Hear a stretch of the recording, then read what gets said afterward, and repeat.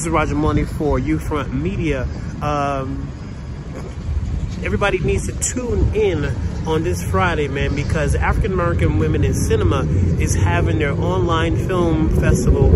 And the reason why this film festival is so important is because we have to support uh, black filmmakers, and this is an innovative way to support black filmmakers and getting their content shown, especially all their films. Since the shutdown, all theaters are closed, so African American Women in Cinema decided to um, partner with five innovative black female filmmakers and show their films online for their first ever online film festival. So tune in. My name is Roger Maloney of Media. I'm one of the sponsors.